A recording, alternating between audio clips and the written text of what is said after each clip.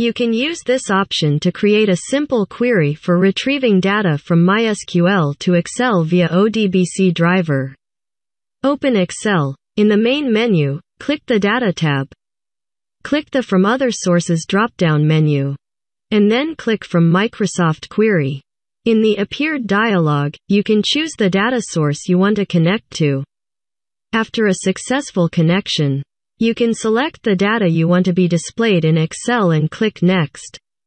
The next two steps allow filtering and sorting the data. Click Next to skip these procedures. If you plan to further use the query, you can save it by clicking the Save button on the right. Select Return Data to Microsoft Excel and click Finish. In the Import Data dialog, you can select the way your data will be viewed in Excel and the place where to put it in the worksheet, and click OK. The required data is successfully imported to Excel.